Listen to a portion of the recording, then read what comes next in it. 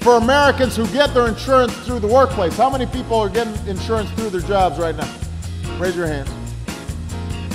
All right, well, a lot of those folks, your employer, it's estimated, would see premiums fall by as much as 3,000%, which means they could give you a raise.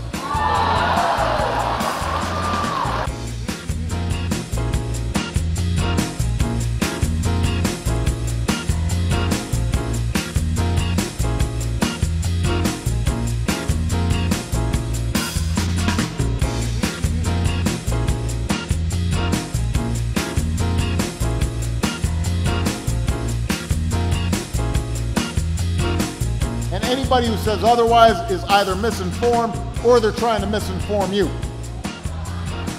Don't let them hoodwink you. They're trying to hoodwink you.